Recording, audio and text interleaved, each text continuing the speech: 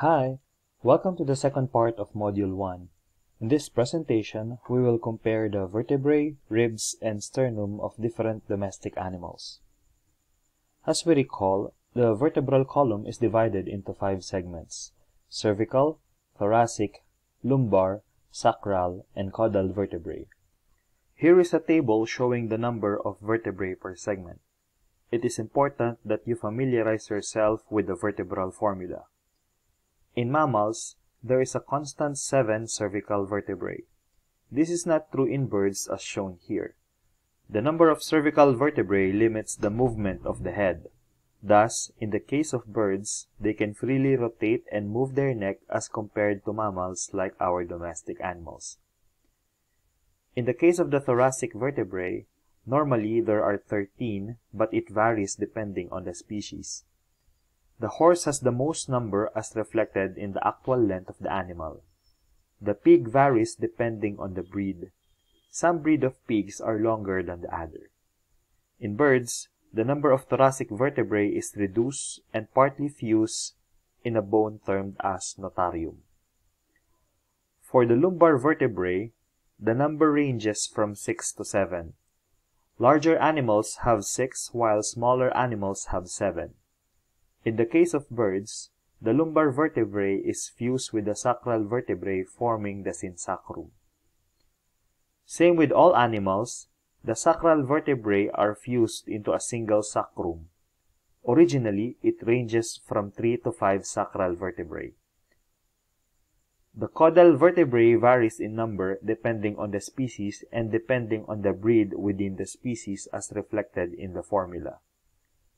Again, it is important for you to know the vertebral formula of each animal being studied.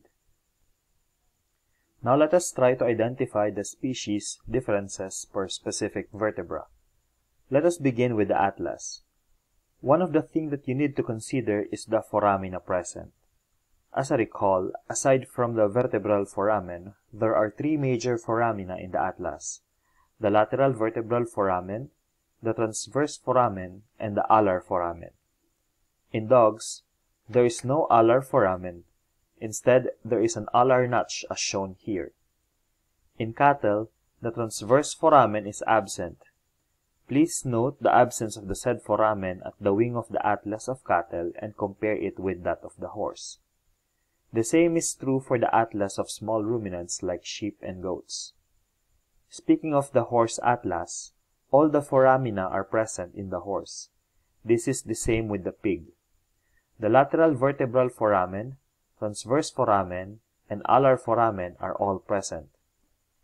In addition, the pig has a long ventral tubercle which is short in dogs. The second cervical vertebra is the axis or epistropheus. Like the atlas, variation exists among species. Primarily, we can use the dens or the odontoid process as a point structure to identify the species. In dogs, the dens is tooth-like as shown here. In horse and cattle and other ruminants, the dens is spout shape as shown here. To differentiate the two, we can compare the spinous processes. In cattle, it is like a rectangular bony plate as shown here, while in horse, it is bifid or there is a cleft splitting the spinous process into two. In the case of the pig, the dens is characteristically like in the dog, but the spinous process is narrow and high, projecting caudally as shown here. For the thoracic vertebrae, we can compare them as a whole.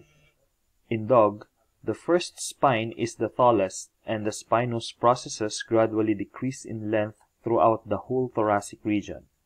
As a review, the most vertically oriented spinous process of the thoracic vertebra is called the anticlinal vertebra. In the case of the dog, the eleventh cervical vertebra is the anticlinal.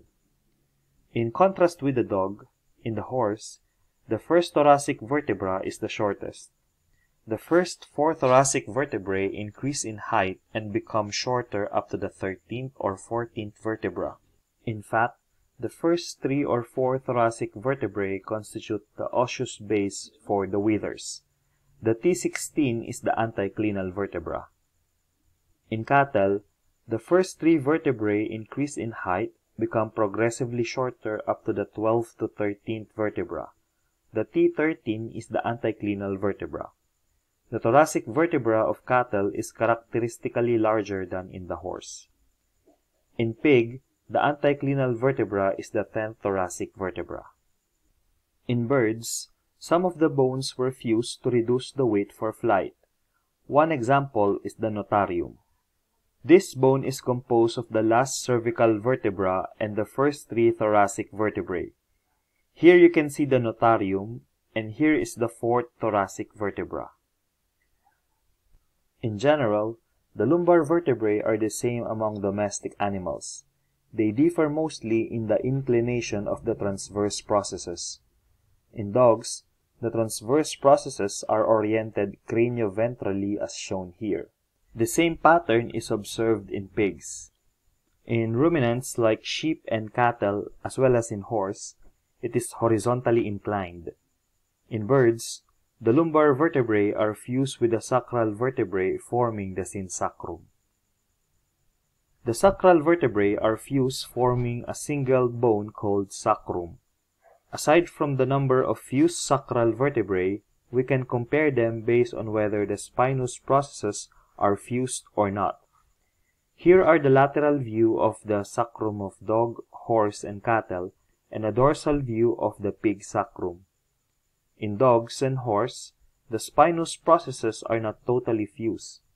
This is in contrast with the ruminants like cattle, sheep, and goat, where the spinous processes are fused forming a median sacral crest.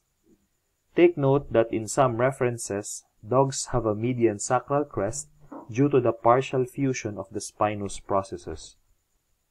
In pigs, the spinous processes are replaced by an indistinct crest.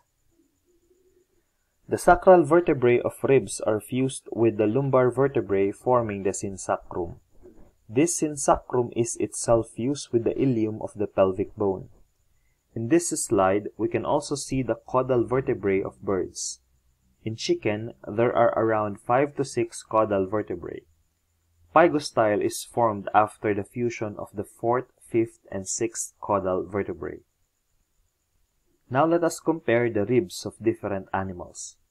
It is easy to differentiate the ribs based on the appearance of the shaft.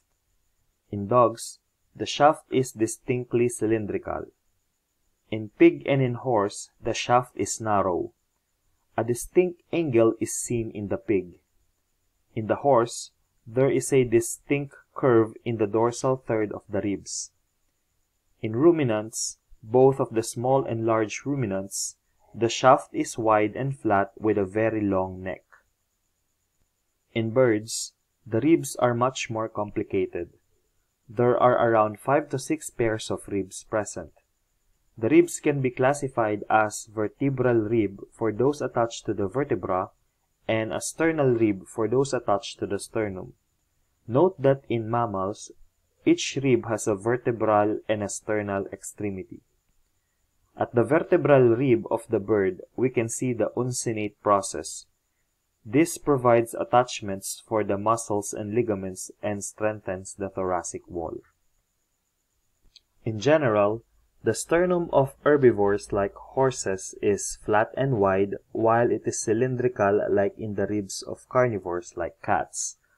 It is also important to remember the relationship between the number of rib pairs with the number of sternebrae. Here is a table showing the comparative number of rib pairs, sternal and asternal ribs, as well as the sternebrae. The number of rib pairs corresponds to the number of thoracic vertebrae. For example, horse has 18 thoracic vertebrae, thus they have a total of 18 rib pairs. The rib pairs can be divided into either sternal or asternal. Please remember that there is always one more pair of sternal ribs than there are sternebrae. As in horse, there are eight sternal ribs, thus they have seven sternebrae. This arrangement is true for most domestic animals. In birds, the sternum is well developed called keel or carina. The wide surface of the keel is shown here is used to anchor large flight muscles of the birds. And that concludes our discussion on Part 2 of Module 1. You may now proceed to Part 3 in which we will compare the bones of the thoracic limb of different domestic animals.